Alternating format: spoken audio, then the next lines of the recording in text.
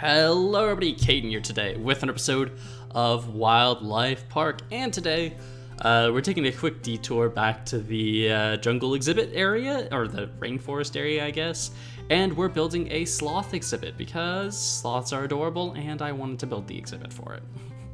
Also, mostly because it was a unique thing and I got to try a different type of exhibit with it. Uh, kind of like the beaver last episode was a different kind of build, we got to do something new here. Um, so uh, and I think I mentioned this uh, at the end of the episode as well. I didn't really know what a sloth exhibit looked like because uh, I've seen only one sloth build or sloth build sloth exhibit in my life at uh, an aquarium of all places, and that didn't really give me a good overall idea of how they were made. So yeah, this was just kind of. I, I, well, I had to look. I did a bit of research beforehand, and this is something I found, or this is a design that I kind of found, and I really liked the look of, so I decided to go with this. Basically, it's um, it's like a rectangle with a, well, I guess a roof, like a sloped roof on either end. Kind of, it basically is like a mini barn with uh, wire mesh instead of proper walls. But I, I liked how this looked. It had a very interesting and unique character to it, and I thought it was a lot of fun to build and can be is a little bit of fun to look at too. And I think this could definitely be the impetus for uh, some future project ideas that I have going on in the old noggin of mine. Um, but anyway, yeah, so uh, I'm doing my usual combo spruce and uh, oak because I feel like they go together really well. The colors are very similar, so it kind of kind of works well overall for construction, in my opinion. Um, I do go through several design ideas with this uh, thing overall and trying to figure out how it's supposed to get put together. Because uh, I don't know, I don't usually build buildings like this, and I don't usually do stuff like this, so it's kind of it was kind of fun, a bit interesting to try and do an exhibit like this. And once again, talking about the Dino series, this is definitely something I could do for the Confuciusornis, I think. Uh, this, I think this type of build would work perfectly for them. Um, but yeah, uh, I'm placing in a bunch of slabs. Uh, I think those are the same wire mesh half slabs we used uh, for the Eagle exhibit. Um, also, you'll see I destroyed one of the slabs um, for the roof support and just put a full like uh, mesh pane there. I do change that later, uh, switch it out for uh, block because I thought it looked a bit better. Um, but yeah, I mean, that's not even really a big thing. It's just something that I ended up changing. It, uh, didn't really change too much the overall build. Um, as for the inside of the build, I was really disappointed because, uh, you know, there's a lot of things I really like about doing stuff like this in Minecraft. Uh, there's a lot of freedom and creative choices you get to make that uh, you wouldn't necessarily get to make if you were playing other games. However, it does have the problem sometimes of there's certain things other games will easily allow you to do that this game can't let you do. And one of those is climbing frames, much like the chimpanzee exhibit. I would have loved to use lots of climbing frames, but there really wasn't a way to adequately do that without it being wildly out of scale and kind of weird looking. Uh, so I just went for some small trees in here instead, as you'll see in a few minutes. Uh, but yeah, now this is the full structure. I really like it. It has a lot of uh, I think it has a lot of nice, unique character, and quite a fan of it, my opinion. Um, we're doing some basic terrain uh, floor changing. Uh, I mean, this wasn't like a super complex build or anything. It was just, I don't know, it was something different and unique, so I like it quite a lot. Um, yeah, I like it quite a lot. And plus, the ground co- the ground wasn't necessarily the most important part of the exhibit. Uh, oh, also, this since I did an update Zawa, uh, we have these cool little bamboo fences, which I used as little like climbing poles. Thought it looked pretty cool. Um, and here you can see me putting in some logs. I would have, I, I had originally thought of connecting these with uh, fences to kind of create climbing platforms.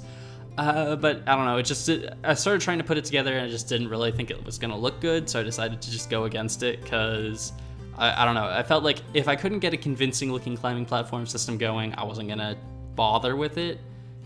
Eh, I guess that sounds a bit defeatist, but yeah, whatever.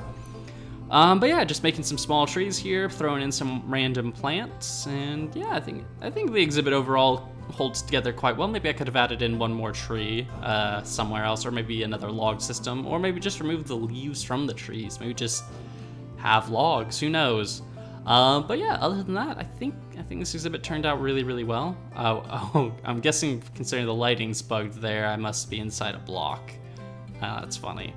Um, but yeah, anyway, other than that, I don't think I have anything else to say, so I'll catch back up with you guys at the end of the episode.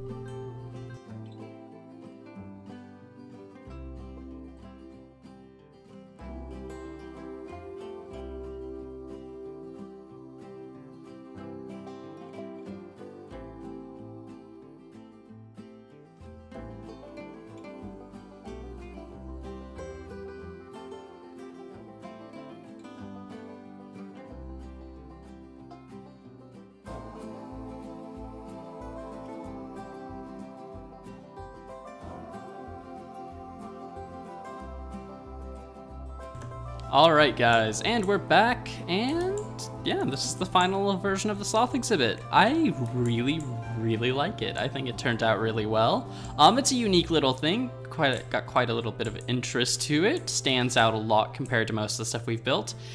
And I think it's definitely set a template for what I want to do uh, concerning, I guess, exhibits like this, which doesn't make a lot of sense when I say it like that. Uh, but we have various monkey, small monkeys we're going to have to add in at some point.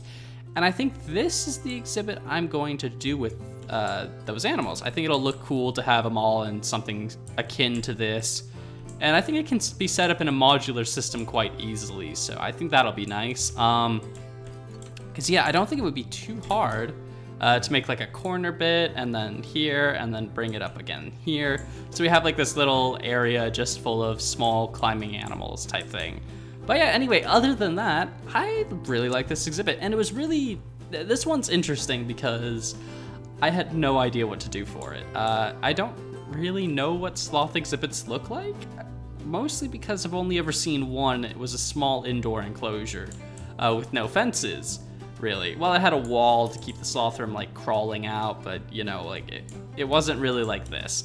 Um, so I had to do a lot of online research, and I think I found this one, which was from some zoo here in the States. I, I don't really know which one. Uh, but it looked similar to this, and I really liked the idea. I will say one thing, one limitation Minecraft has that really annoyed me while building this is almost every single exhibit I saw, uh, they would have tons of like climbing materials. So like maybe like a big log in the middle, and then lots of branches interconnected between each log, spanning the entire like width of the exhibit, uh, to give the sloths tons of places to hang and climb and stuff like that. And you can't do that in this game effectively at this scale. It it kind of sucks, which is but it's it's unfortunate, but whatever, you know. We will persevere. We'll carry on. Also, can we just take a second to like look at these guys and how cute they are? Like, oh my goodness, these sloths are adorable. I love them to bits. They're amazing.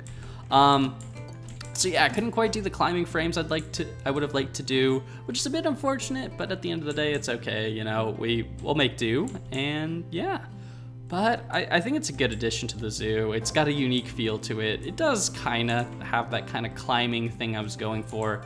I think this could easily pass as a sloth enclosure. Uh, I mean, I could have made it taller, I think, but I also didn't want it to become like the eagle enclosure and just be this massive monolith at the very back of the zoo. I kind of just wanted, you know, something small that would work. Granted, I think it probably would need to be taller to be a proper sloth exhibit, but whatever, you know, I think it, I think it's overall kind of good because these guys don't climb trees like regular sloths do, and they don't hang upside down. At least as far as I've, I've found in my testing with them which is a bit unfortunate, but still really cool. Um, it's got the same kind of jungle decorations we've been doing, obviously, because, you know, that's uh, that's what we do here. We, we, we find something that works and we, we keep copy pasting it until uh, it doesn't work anymore. Wow, my throat there. Um, yeah, okay, anyway, I wanted to say something real quick, and that was um, we've been talking about a couple of buildings for a while, namely a reptile house and an aquarium, I believe, and I was seeing more with this with the reptile house. Uh, but people keep asking for it, people keep wanting me to do a reptile house of some sort, and I don't think I'm gonna set this for this video, it'll probably be another video at some point, but I, I, don't know. Part of me is feeling like I'm gonna set a like goal for me doing a bug, uh, not a bug house, a uh, reptile house mostly because I'd probably try and do it in one video and that's you know that's that's going to be a big project. I mean that'll probably uh, be a couple hours of building and recording uh, and then editing the time lapse and then editing the video doing the voiceover and all that stuff. So even if it's two videos you know like, it's still tons and tons of work going into that to get uh, it produced. So uh, let me know what you guys think of that idea i guess. Also let me know what you think of the sloth exhibit and if you guys could change anything, what would it be? Um, I would like to add more climbing frames, but again, there really isn't a way for me to do that, unfortunately. Anyway, other than that, I don't really think I have much else to say, so thank you guys all for watching, I hope you've all enjoyed, and until next time, guys, see ya.